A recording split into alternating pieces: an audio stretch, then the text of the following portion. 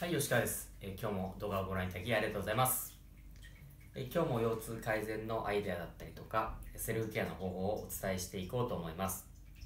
はい、えっと今日はまたですねあのこりについて、えお伝えしていこうと思いますけれども、えまあ肩こり腰痛のこう原因を考えるときにですねえっとまあこりってなぜできるのっていうことなんですけれどもまあ、こりって一概に言ってもですね、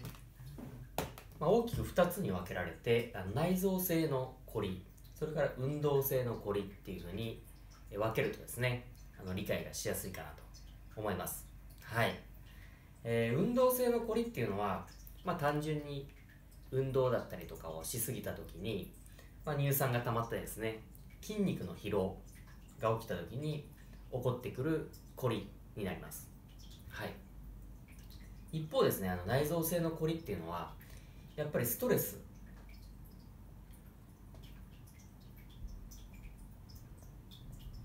ストレスが溜まっている状態で内臓に内臓に来るこりになりますね。まあ精神的なねストレスだったりとか口から入ってくる科学的なストレスだったりとかあるいはその肉体的なストレスでもですねもうやりすぎてやりすぎてってなるとですねもうストレスを感じてですね内臓性のこりになるというふうに私は考えてます。そうするとですねあの多くのまあ慢性痛の原因としてですね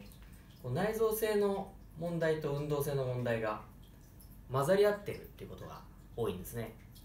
なので、まあ、表面的なですねあの筋肉の治療骨の治療当然大事なんですね。その表面的な問題を解決してさらに奥の問題ですね。それが内臓性のこりとして起きていてなかなか取れない痛みだったりとかぶり返す痛みだったりとか翌日元に戻ってしまったりとかっていうところの問題になってきてますので、まあ、内臓性のこりっていうのにやっぱり注意していかなきゃならないですし、まあ、セルフケアだったりとかですねこう施術をするときにですね、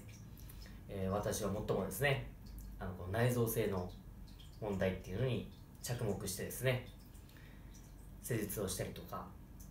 アドバイスをしたりしています。はい。まあやっぱりですねあの現代はですねストレスが多いこう社会になってきてますのでまあ、表面的なこう痛みだけでなくてなくですね、まあ、多くの、ま、肩こりだったりとか腰痛だったりっていうのは、まあ、深い深い、えー問題をですねやっぱり抱えてる状況っていうのは多いんじゃないかなと思います、まあ、なのであのストレスの問題っていうのをまあ減らしていくっていうのが一番大事なんですけれども受けてしまったねストレスっていうのはやっぱりですねその内臓自体をですね癒していくってことも大事ですので、まあ、そのために内臓に手当てをしたりとか、うん、あとはですねやっぱり呼吸内臓と横隔膜ですね呼吸するとこう上下に動く横隔膜っていうのが連動してますので、まあ、内臓がやっぱりですね疲れてくるとですねこう下に下に下がってきますので横隔膜もこう引っ張られてですね引っ張られてもうここがガチガチの状態の方って非常に多いんですね。で深呼吸してくださいって言ってもこう膨らまないっていう状況になってる方が非常に多いですので、まあ、もしですねあの動画をご覧のあなたもですね肩こりとか慢性腰痛で悩んでいるようでしたらちょっと深くですね深呼吸をした時にあまりこう上手にできなかったりとかですね膨らんでこないっていう状況があると思いますので、まあ、そこをですねこう解決するためにですねこう溝落ちの部分にですねこう手を当ててちょっとこうアシストしてあげるとですね非常に胸を膨らませやすくなりますしお腹の方の方も膨らませやすくなりますのでとにかく大きく胸を膨らませて吐く。そして吐き切るっていうことをですねやっていただく。それだけでですね呼吸の状態が良くなってですね中の内臓の問題っていうのがこう解決されてくる。で呼吸が浅いっていう状態がですね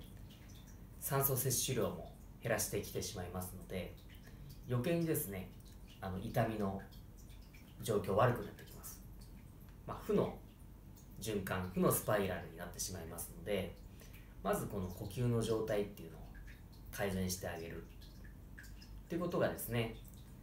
セルフケアとしてできることかなと思います。はい。なのでですねあの肩が凝ったとか腰が痛いとかっていう方多くいらっしゃると思うんですけれども、まあ、内臓の問題なのか運動性の問題なのかっていうのを、まあ、ちょっと分けて考えていただいて、まあ、別々にですね問題を解決していく。で多くの場合はですね2つが混ざり合っていますので一番奥の問題って何かなっていうことをこう考えながらですね呼吸の状態から改善していくといいかなと思います。はい是非参考にしてですね取り組んでいただければなと思います。はい今日も動画をご覧いただきありがとうございました。